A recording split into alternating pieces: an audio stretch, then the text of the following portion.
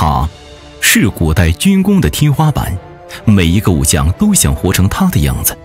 他的人生比任何爽文都精彩，一辈子只打了三场大仗，却扭转了全世界的格局。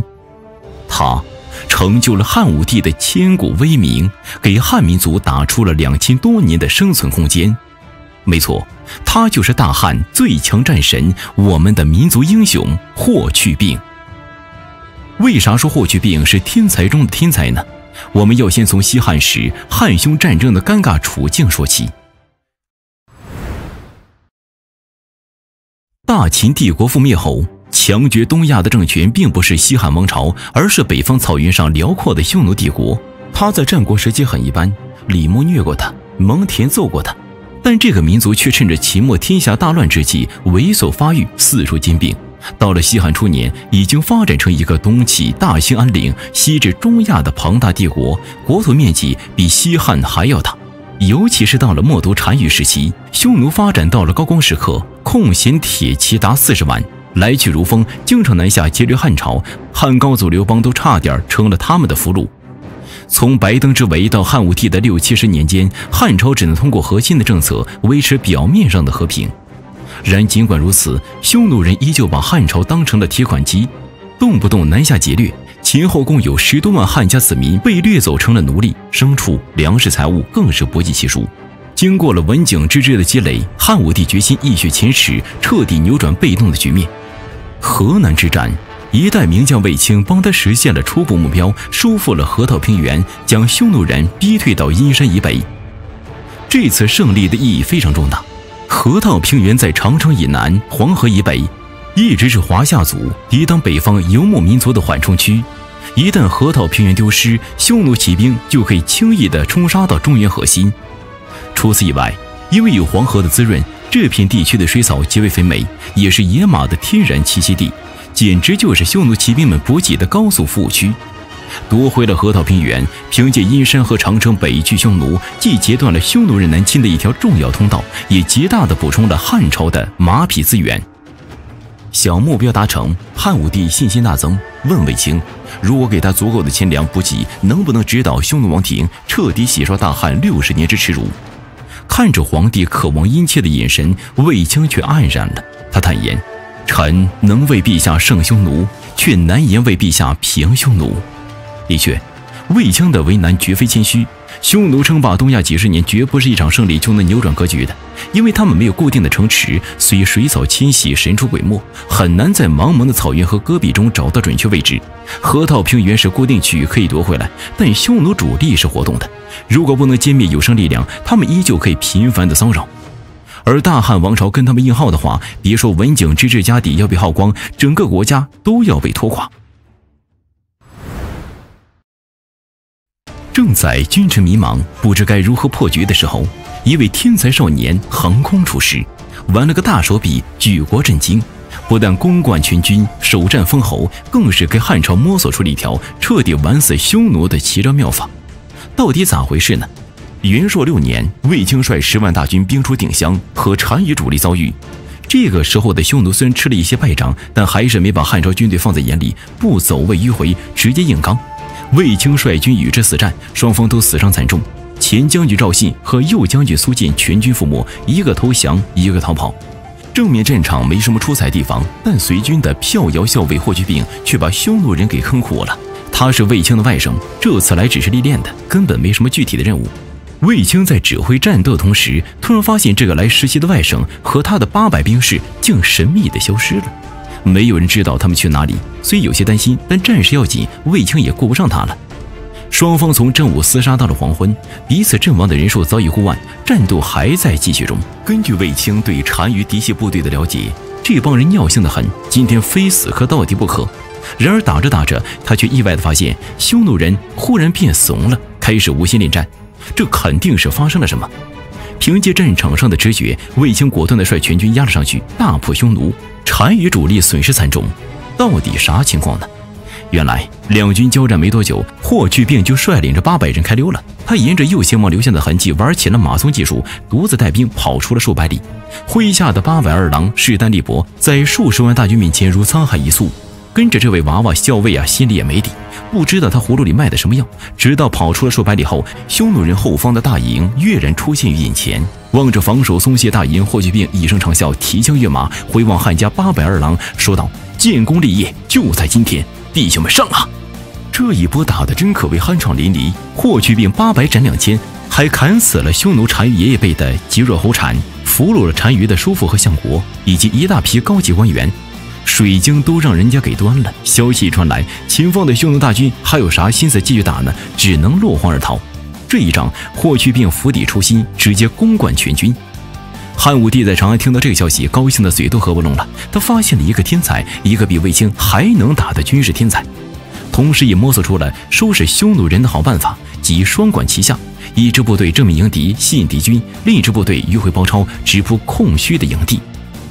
本来匈奴人没有固定的城池，神出鬼没是他们的优势。没想到突然发现了 bug，优势变成劣势。因为没有固定城池，所以营地脆得很，没啥人。只要能找见坐标，基本就可以平推了。营地只要一灭，前方的部队也就失去了主心骨，直接做鸟兽散了。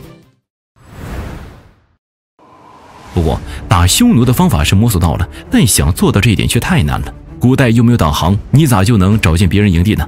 这回卫青能遭遇单于主力，都是碰运气。霍去病能发现后方营地，更是偶然了，还能每次都找到。汉武帝也是带着这个疑问问霍去病，而霍去病则是笑着说：“用兵之道，存乎一心。没到战场临敌，我也不知道具体打法是什么。陛下如果信得过我，就把河西交给我收回。”要说他这并非是卖关子，而是天才就是天才，有些心境和智慧不是寻常人能理解的。就像大魔王张怡宁，只要和别人一握手，就知道对方输定了。这就是一种敏锐的直觉，更是天才对于普通人的降维打击。元寿二年，汉武帝任命霍去病为骠骑将军，带领一万兵马去进攻占据河西走廊的浑邪王和修楚王部。河西走廊是游牧民族进攻中原的又一条必经之路，它地势平坦，逼近关中长安，特别适合骑兵突袭，更是连接西域的咽喉要道。夺取了河西走廊，也就可以实现汉武帝联合西域统战包抄匈奴的战略构想。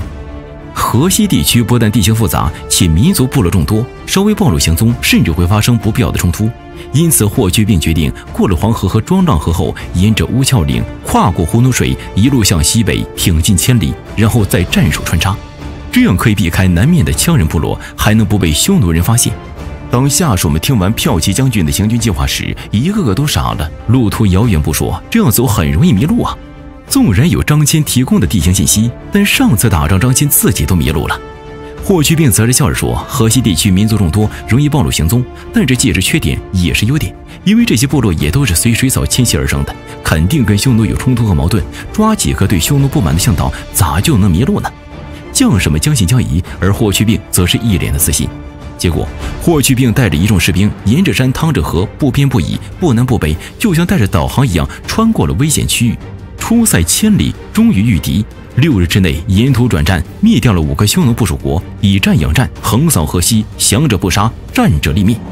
这种打法，其他的将军们想都不敢想，霍去病却成功达成。打着打着，很快霍去病就发现了一条大鱼，那就是单于的儿子。霍去病的眼睛亮了。麾下的将士们也疯了，他们的内心极其纠结：一来理智上觉得孤军深入，很怕被敌人包了饺子；二来情感上也全部成了这位年纪不到二十岁统帅的死忠迷弟，崇拜和信仰爆棚。仗打到了这个份上，谁还管能不能活着回去？大家都热血上头，干就对了，先弄死单于儿再说。一万大军像飓风一样呼呼地往前冲，越过胭脂山，从祁连山到合里山，转战六天，脚步压根就没停下来过。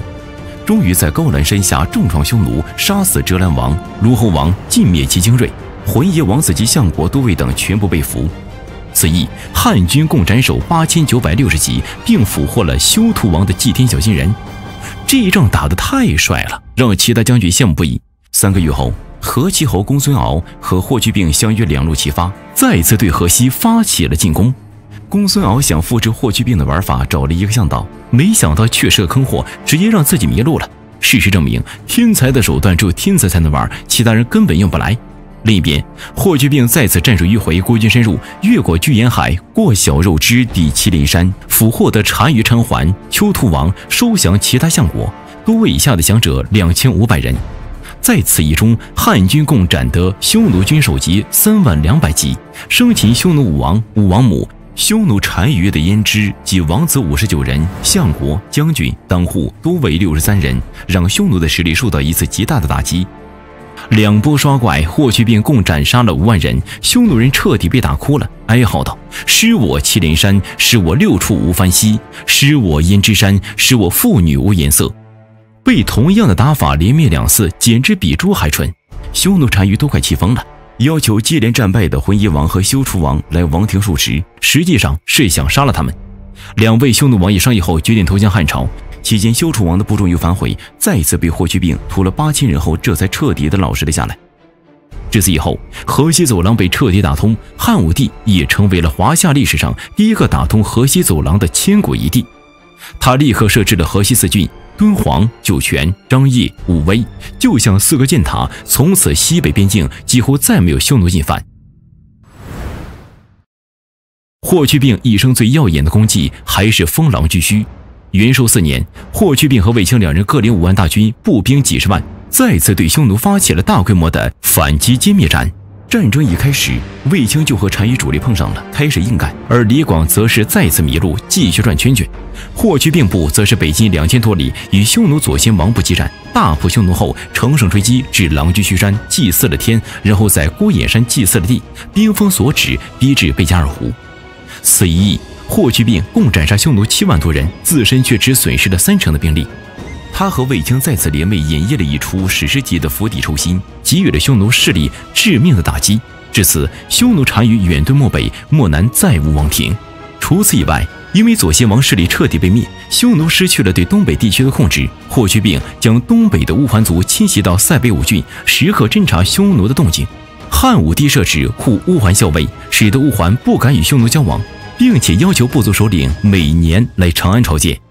匈奴势力被彻底赶到漠北后，因为那地方水草贫瘠，气候苦寒，鸟不拉屎，游牧经济的脆弱性暴露了出来，人口迅速下滑，再无力组织南侵汉朝。到了东汉时期，匈奴分裂成了南北两匈奴，南匈奴归附汉朝，而北匈奴则远遁中亚和欧洲，给西方世界带去了沉重的灾难，也间接地影响了全世界文明的发展进程。后人十分的不解，霍去病为什么那么猛？第一次领兵就能打出如此耀眼的战绩？他连兵书都不看，打仗地方也从来没去过，他又是如何驾驭这一切的？难不成世界上真有不学就会的天才吗？亦或者说，霍去病真是穿越者，带着手机导航去的？其实，天才的概念，正如霍去病向汉武帝解释的：“用兵之道，存乎一心。所谓知己知彼，百战不殆。”并不单只了解对方的信息，更在于了解对方的内心。匈奴的优势在于灵活机动，政治中心不受固定地点的羁绊，来无影去无踪。但他也有自己致命的弱点，就是游牧经济条件下，兵力都是分散在广袤的草原上的，只有在打仗的时候才由大营号召聚集，其余时间都在放牧。这也就决定了他的神经中枢极为脆弱，一旦能够解决了坐标的问题，发起突然袭击，匈奴首领根本来不及号召草原上的青壮年组成军队，这跟固若金汤的长安或者洛阳根本不是一个概念。而匈奴作为奴隶制的国家，全部都是部族联盟的方式，彼此间矛盾重重，更没有天地君亲师的儒家思想，人心很散，一切都是看利益说话。霍去病洞悉人性，以丰厚的军功奖励收编匈奴士兵。他的部队三分之二都是匈奴人。纵然山海茫茫，又怎么可能找不到匈奴的营地在哪儿呢？霍去病赏罚分明，立功的奖励丰厚到令人发指；没有立功，饭菜宁可发臭烂掉，也不给下属吃。如此的奖罚机制下，士兵们又如何不嗷叫地往前冲呢？几方因素的综合作用下，游牧民族反倒成劣势的一方，农耕文明的优势倒体现了出来。所以。洞悉人性，存乎一心，这才是用兵最核心的东西。不仅要看到自己的弱点，更要看到别人的弱点。李广苦练骑射之术，他的骑兵甚至比匈奴骑兵还要厉害，但这只是技术层面的高度，根本无法达到像霍去病这样的战略高度。所以，天才的标准不能用常规的学习、掌握、熟练的顺序来衡量。他们不需要交太多的学费，更不需要昂贵且漫长的试读过程。有了想法后，就能把想法变成现实了。比如两千年后，教员四渡赤水，巧妙穿插，把国军玩的晕头转向，难不成也是带了导航？很幸运，我们民族从来不缺这样扭转乾坤、改变时代进程的天才，他们引领着我们的民族一次次的突破艰难险阻，不断的谱写辉煌。最后，感谢 B 站纪录片《英雄之路》提供的资料以及素材。对于霍去病感兴趣的同学可以去看看这部纪录片。除了霍去病外，《英雄之路》节目中还讲述了许多我国历史上可歌可泣的英雄和天才的故事，值得一看。